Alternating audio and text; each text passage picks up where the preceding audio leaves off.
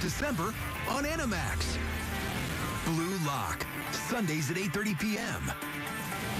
Naruto from 5th December, Mondays to Fridays at 6.30 p.m.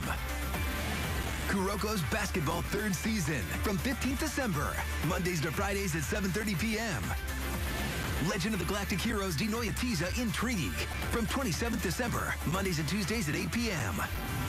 This December, only on Animax.